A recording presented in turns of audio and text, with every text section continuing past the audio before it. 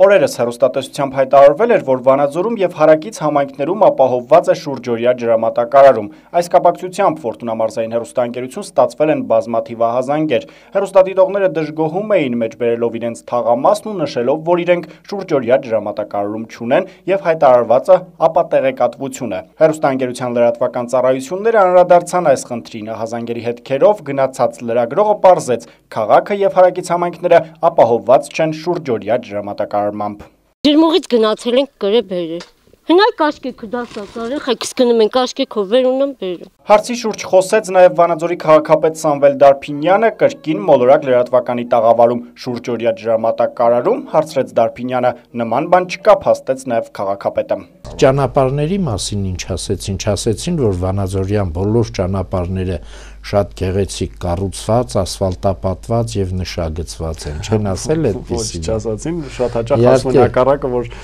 սա կատակի ձևով հարգարժան վանաձորցիներ ճշմարտությունը ես գերադասում եմ ամեն ինչից Ինչևէ, հիմա զարգացումների մասին Վանաձորյան օրեր հաղորդաշարի հերթական թողարկումը տեղադրվեց հերոստանգերության Facebook-ի պաշտոնական էջում։ Լորի ջրմուղ Facebook-յան էջից արձագանքը չուշացավ։ Մեկնաբանությունների բաժնում ջրմուղը մասնավորապես գրել է. «Մեջբերում եմ»։ Ֆորտունա լոռու մարզային հեռուստաընկերություն, եթե իսկապես մտահոգված եք, պարտավոր եք բազմակողմանի լրատվություն ապահովել։ Բարեհաճեք ձեզ անհանգստացնող հարցերն ուղղել նաև ջրամատակարար հիմնարկին։ Դրել եք վթարի կադրեր, մինչդեռ այդ վթարը սեփական տնակի ջրագծի վրա է եւ պարտավոր է սեփականատերը այն վերացնել։ Մեր ընկերությունը բազմիցս պատասխանել է նրանց։ Կայացած հեռուստաընկերություն Ֆորտունա բացատրեք ձեր կադրերին, որ միակողմանի լրատվությունը լրատվություն չէ։ Մեջբերման ավարտը։ Ֆորտունա հերոստանգերության պաշտոնական պատասխանը բնավ չուշացավ, մեջբերում եմ նաև հերոստանգերության պատասխանը։ Շատ պարտաճանաչ լորի ջրմուղ, մենք անպայման կհետևենք ձեր խորհրդին։ Շատ լավ է, որ տեղյակ եք բազմակողմանի եւ օբյեկտիվ լրագրության օրենքներին։ Սիրով հրավիրում ենք ձեզ ուղիղ եթերում պատասխանելու հերոստադիտողի հարցերին։ Անհամբեր կսպասենք ձեր պատասխանին։ Հաղորդմանը կհրավիրենք նաև ջրագծի վրա գտնվող տնակի բնակիչներին, ինչպես նաև սիրով կլսենք մեր մասնագիտությանը վերաբերող ձեր ցուցումները։ Եթերի հրավերը կուղենք նաև ձեր վերադաս կազմակերպությանը, քանի որ հասունացել են ջրմուղ կոյուղուն վերաբերող բնակիչներին մտահոգող բազմաթիվ հարցեր։ Համեցեք, խնդրում ենք չմերժել։ Մեջբերման ավարտը Եվս մեկ հավելում, միակողմանի կամ բազմակողմանի լուսաբանման որևէ հարց չի կարող բարձրացվել այն դեպքում, երբ լրատվամիջոցը արձանագրում է փաստը, այս դեպքում այն, որ փաստացի քաղաքում շուրջօրյա ջրամատակարարում ապահովված չէ։ Հետաքրքրական է նաև, որ Facebook-յան մեկնաբանության մեջ ջրմուղը մոռանալով տեսանյութի ամենակարևոր ասելիքը անդրադարձել է ջրի վթարին, որտեղ նյութը պատրաստող լրագրողը ոչ ոքի չի մեղադրում վթարի համար, կրկին միայն արձանագրում է անհերքելի փաստը։ Իդեպ նկարահանման պահին էլ երկրորդ ավանի գլխավոր փողոցի ամբողջ երկայնքով վթարված ողողակից ջուր էր հոսում։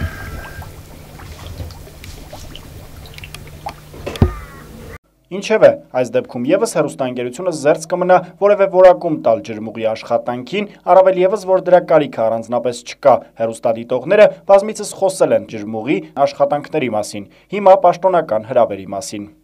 Հարգելի բարեկամներ, Լորի ջրմուղ կոյուղի ընկերությունը Վանաձորյան օրեր հաղորդաշարի հերթական թողարկման մեջ տեղ գտած Վանաձորի ջրամատակարարման մասին նյութի վերաբերյալ սոցիալական ցանցում հայտնել է իր դժգոհությունը, որպես ոչ օբյեկտիվ լրատվություն։ Հաշվի առնելով վերոհիշյալը, մենք որոշեցինք ուղիղ եթերի հրավիրել ազգային կենսական նշանակության կարևորություն ունեցող այս կազմակերպության տնօրինությանը, հանրությանը ներկայացնելու իր կատարած աշխատանքների մասին տեղեկություններ, քննարկելու նյութի ոչ օբյեկտիվությունը, ինչպես նաև պատասխանել պատասխանելու հերոստատիտողների հարցերին։ Այս առիթով հարգելի վանաձորցիներ, խնդրում ենք ձեր հարցերն ուղղել նաև գրավոր Facebook-յան մեր էջում այս հաղորդագրության մեկնաբանությունների տողում։ Լորի ջրմուղ կոյուղի ընկերությանը վերաբերող ձեր ցանկացած հարցը տեղ կգտնի հաղորդման մեջ։ Իդեպ հարգելի լորի ջրմուղի տնօրինություն, հրավերն ընդունելու դեպքում կարող եք զանգահարել հեռուստաընկերության լրատվական ծառայություն 055 458 468 հեռախոսահամարով եւ մենք ձեզ կտեղեկացնենք օրվա եւ ժամի մասին։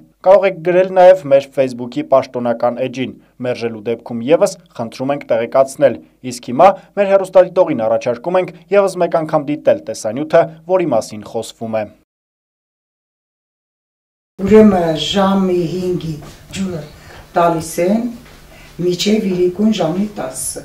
10-ից կտրում են միջև առավոտվա 7-ը 7-ից տալիս են միջև 1-ը եւ հաջորդ օրը 1-ը Ալվարդ Միրզոյանն անգիր գիտի ջրամատակարարման ժամերը։ Առանց դրան հնար կլինի անգամ խմելու ջուր հավաքել, չհաշված նաև կենցաղային մաքրության ու լվացքի համար։ Նա Ֆորտունայի լրահավաք հեռախոսին զանգահարողներից մեկն էր։ Կինն ապրում է Վանաձորի աղայան 59 կոտորակ երկու շենքում, ասում է շատ է վրթովվել լսելով, թե Վանաձորն ամբողջությամբ ապահովված է շուրջօրյա ջրամատակարարմամբ։ Մենք էլ ենք Վանաձորից, ասում է Ալվարդ Միրզոյանը, հապա ինչու մենք էլ օրը 24 ժամ ջուր չունենք։ Հաղորդում ավոր 3 անգամ լաման եմ լվանում, լվացք եմ անում, բա մենք էլ ենք ուզում տանտիկին դառնանք։ Ակուրատնի տիկիններ դառնանք, մենք էլ մակրություն ունենանք։ Վեդրոյով առաջի արկի ջուր չբարձացնենք։ 9-րդ հարկ կամ 6-րդ հարկ։ Կնոջ խոսքով ջրամատակարարումն անկանոն է, հաճախակի ընդհատումներով։ Երբեմն օրերով ջուր չունենալու պատճառով շենքի տարեց բնակիչները ստիպված են լինում դույլով ջուրը բարձրացնել վերի հարկեր մենք ջուր չունենք։ Օրերով էլ պահարեղի ջուր չենք ունեցել։ Ջրմուղից գնացել ենք գրե բերել։ Հնայ կաշկեքը դասակարը, խեքս գնում ենք կաշկեքով վեր ունեմ բերում։ Ցածր հարկերից էլ դժգոհողներ կան։ Օրինակ Վանաձորի բազում թաղամասից բուլղարական ավանի բնակիչներն ասում են, որ նախկինում մինչ ջրատար խողովակների փոփոխությունը ջրամատակարարումը շուրջօրյա էր։ Դրանից հետո ջրի քանակը քչացել է, վթարները շատացել։ Ի դեպ նկարահանման պահին էլ երկրորդ ավանի գլխավոր փողոցի ամբողջ երկայնքով վթարված խողովակից ջուր էր հոսում։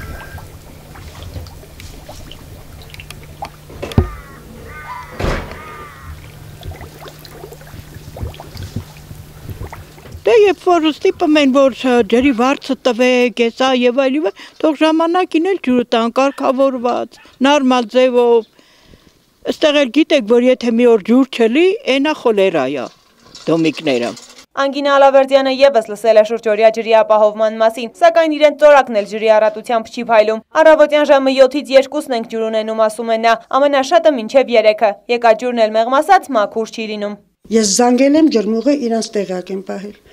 որ ջուրը առնաջուրա գալի կարող է ապրանք հանգել մեջը բասեյնի ասա ոչ դուրբիքեց այս ասի դուրբիքերը կապրոնիա փոխել են ինչի պետքա տեել ոչ մի լուծում է չտվեցին նա ջուրը բաց է մարել աղագին գնացելա